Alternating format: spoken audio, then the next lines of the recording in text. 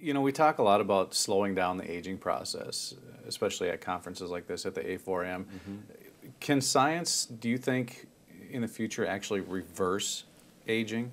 And, and if so, I mean, to what degree? To how, how young could we go back and become? Yeah, I think I think we're already there. Quite frankly, I think the um, the introduction of telomerase activators has made it possible for people to stop and reverse aging. And so, if you go to my YouTube channel, Dr. Park 65, there's 150,000 views just about on patients of mine who are seeing signs of reversed aging. Mm -hmm. Now, FDA-wise, we can't make claims that it's reversing disease, but they're just interesting stories. So I do think that telomerase activation is a big part of the equation. But once we get the custom stem cell, they can take whatever best cells you have, whether it be from your sperm, and you can custom differentiate a kidney or liver.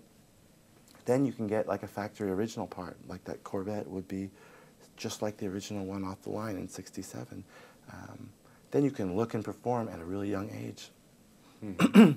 because um, as we're aging, a lot of our stem cell library gets older, so they're like replacement parts from worse and older parts. But they can find the best copy that mom and dad gave you and then um, give you a really fresh Scott Peters liver, mm -hmm. you know. So that, again, that's why I say negligible senescence. And yeah, you could be 100 and feel like you're 20. Mm -hmm. I know, it really, it bothers people. Because it's a lot to have to handle. Yeah. Um, I was at a dinner the other night and I introduced the concept and everyone was really anxious about running out of money. And I kept on telling mm. them, listen, you know, you're going to want to work and you're going to be productive. So, mm. you know, I know the people the people that retire, I think after airline pilots retire, they have a high incidence of sudden death, and that's true of a lot of people. So working is a blessing and keeps you active. Mm-hmm. So eh, people think getting old means getting sick, and now if you get really old, you run out of money. Again, this is a sort of a scarcity mentality that mm-hmm. people need to get over. I mean, I have so many people that on TA65 they find new love, or they start new careers, or they go back to school because when you don't draw up that endpoint at 85 mm-hmm. or whatever, you realize that there's a lot you can do. And you know, whether you live 85 or 850, really, people need to take it a day at a time and, and do one foot in, the, in, front of the other type of things. Mm-hmm. I really don't think if we lived 850, people would conduct themselves very differently. Mm-hmm. They might have a midlife crisis at 825 or something. so unfortunately, a lot of it's um, quality, not quantity. Yeah. yeah.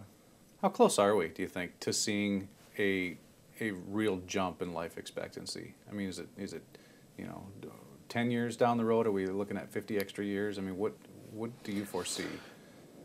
I mean, I, I, who knows? But I think that the um, adoption of telomerase activators and hopefully the mass production of it will um, pay incredible dividends. So I think that people who are in good state of health now, they've already, you know, assuming that they can afford it, uh, they've already seen their life expectancy bump to 150, easy. Hmm. It's already here.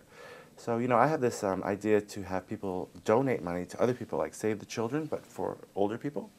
So hopefully that'll be a way to um, monetize the karma. If somebody's a good person, but they can't afford TA, then another person could donate to them and watch their progress uh, at a personal level. No, there's no administrators, there's no charities or, or mm -hmm. watchdog. You give the money to this person, you see them get younger and healthier. And that's a really nice way to, um, to use the tool of money, I think.